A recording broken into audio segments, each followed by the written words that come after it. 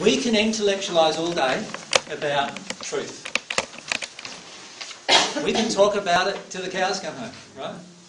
But unless you start feeling it, until that time occurs, it's all just going to be an, a pointless, in a way, intellectual exercise. Right? Now, unless you're prepared to actually start acting upon and feeling in your heart the emotions of truth and what they confront, then really the, the whole point of this discussion is lost. You follow me? The truth is felt emotionally just like error is felt emotionally.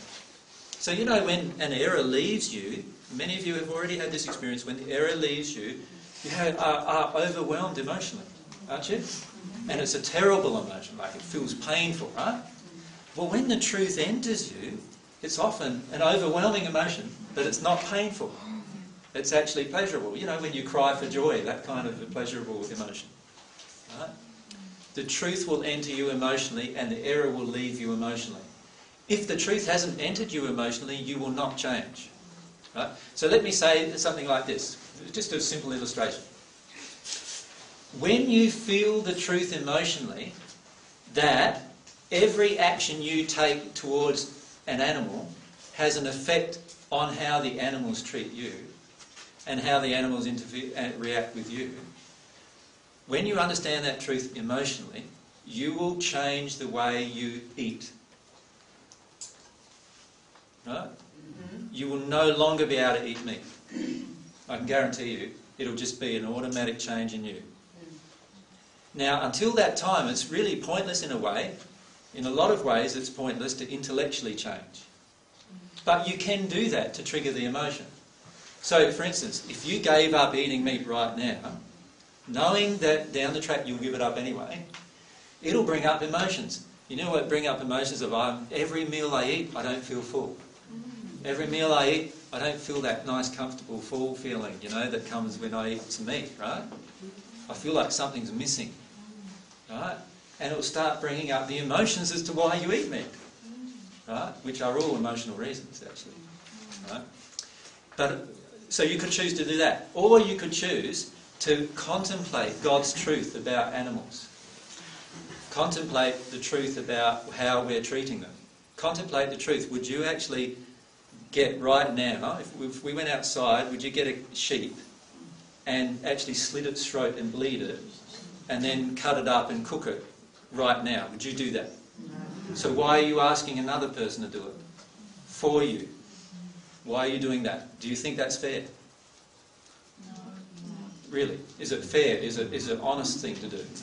Now, if you start to... Con- the truth a bit more. Sorry? Yeah, it disguises the truth a bit more. That's why we do it. But the truth, the truth is that once you start feeling that, when you feel that in your heart, you won't be able to eat another piece of meat again. When you feel that. And if you're not feeling it, then you've got to ask the question what emotion inside of you causes you to not feel that. Does that make sense? Now, I'm not saying that all of you have to give up eating meat, am I? What I'm saying is, once you become in harmony with God's truth at the point of abundance, you will not be eating meat, I can guarantee you, because you will not be able to. You will not be able to feel love for animals and at the same time kill them or ask other people to kill them for you.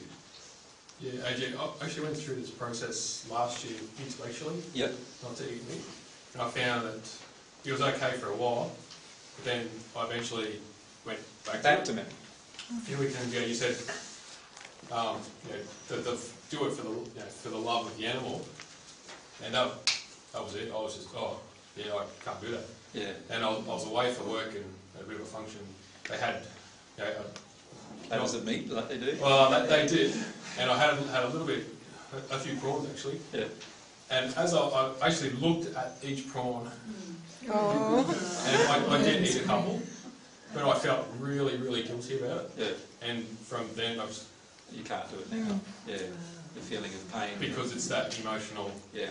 See, when you get into a state of truth, what will happen is every time you're out of that state, you'll feel pain.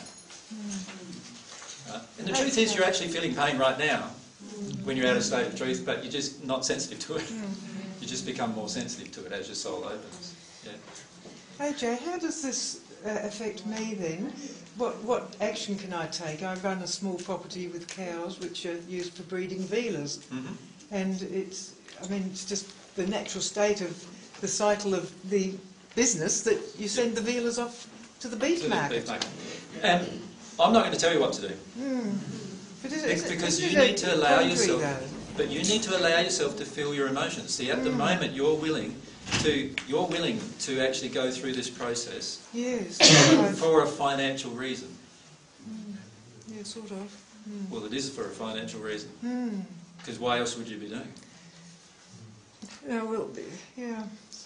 See, there's an emotion tied in yeah. there. see. Well, I've always had a very big emotional contact with my cows anyway. Yeah. I bore my head off when I've got to part with yeah.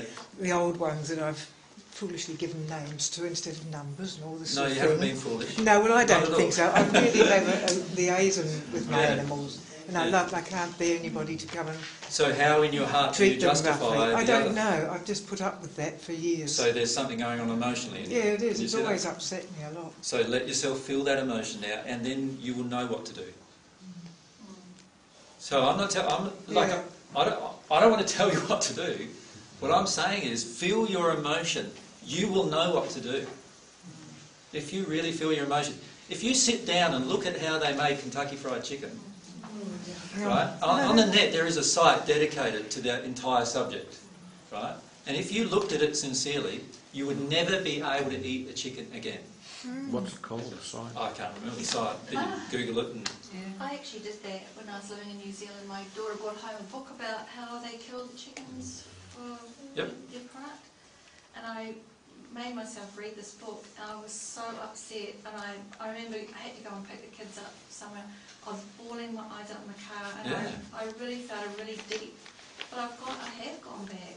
Well, to- so you haven't released the. But I really felt at the time I was like, uh, yeah, I obviously haven't, but yeah. You haven't. There's two things we need to do when we're accepting truth. Remember, we need to release the error.